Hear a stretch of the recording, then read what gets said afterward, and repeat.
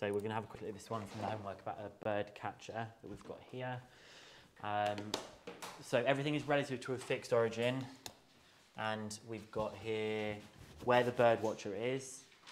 Um, so that's a particular point. I'm going to call them W for watcher. Uh, the bird watcher is able to spot any bird that flies within 500 meters. Well, notice this is in kilometers, so I would probably be thinking that as 0.5 kilometers now for the rest of the question. A kestrel flies from A to B, where points A and B have these position vectors. So here's the bird watcher, here's A, and here's B, where the kestrel is flying between, like this. I don't know why it's flying to the left on my board. Why don't I switch it around and have the kestrel flying in the way that feels a bit more logical, going from A to B, coming along this line. Um, and the kestrel is modelled as flying in a straight line. Use the model to determine whether the bird watcher is able to spot the kestrel. So what's it actually asking for us to find out here? Great, so what we want to do is the shortest distance. Okay, I'm going to try and do this quickly because it sounds like you've all done this. So first of all, I need to figure out the general point on the line. So I'm going to begin by finding AB, which is B minus A, which is 12, 0, 1.2 minus 3, 5, 0. So we should get 9 minus 5, 1.2. So the equation of the line is R equals one of the points, 12, 0, 1.2, plus 9 lambda minus 5 lambda and plus 1.2 lambda. Now I'm going to try and find out the vector between a general point. So I'll call the general point C, don't really mind what you want to call it, and then the bird watcher W, which is 5, 4, 0.7. So if I find the vector CW, in fact, I'm going to do the vector WC just because it makes my life easier to do the general point C minus the general point W. So it's this one minus this thing that we've got over here. I'm going to dive straight in and get 7 plus 9 lambda and then minus 4 minus 5 lambda, and then 0.5 plus 1.2 lambda. Is that correct?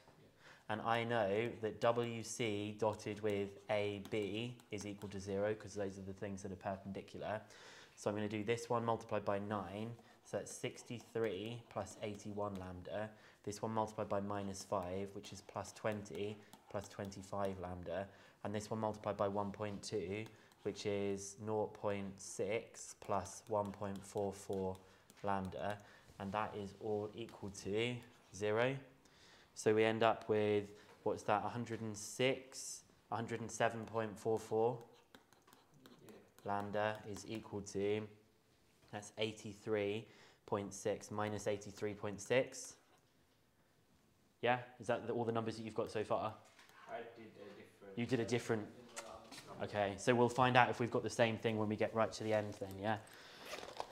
Okay, so that's 83.6 or minus 83.6 divided by 107.44. I hope I haven't made any mistakes in my head here with any of these calculations. That's minus 1045 over 1343. Now what you might like to do here, because some of the numbers are a bit, are a bit annoying, because we're trying to find out the distance CW, you might actually like to work out, if you wanted to, if this looks easier to Pythagorize, then go with that, but I don't know if it's necessarily going to be easier to Pythagorize.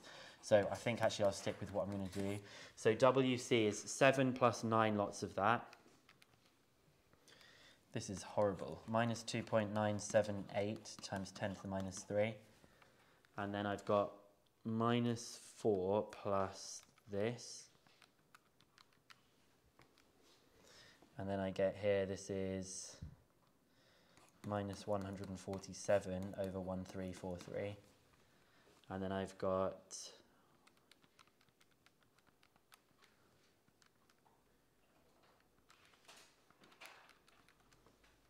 minus 1165 over 2686.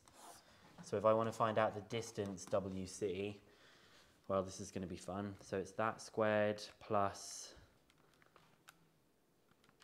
that squared plus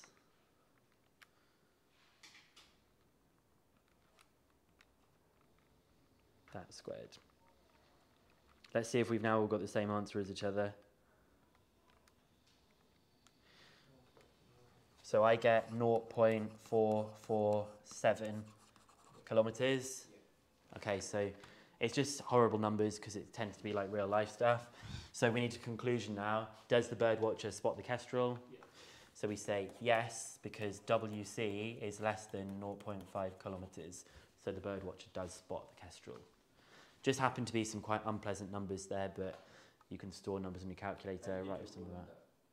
Um, I'm just, I don't use the I never use the fraction button. Ever, ever, ever. I hate the fraction button. I just know, I just put divide in instead and know how that, that works.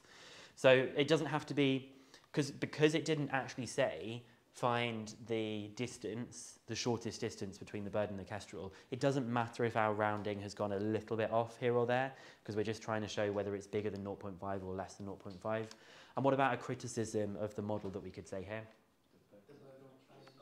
Yeah, the bird is unlikely to fly in a straight line. Um, yeah, it doesn't take anything about visibility into account.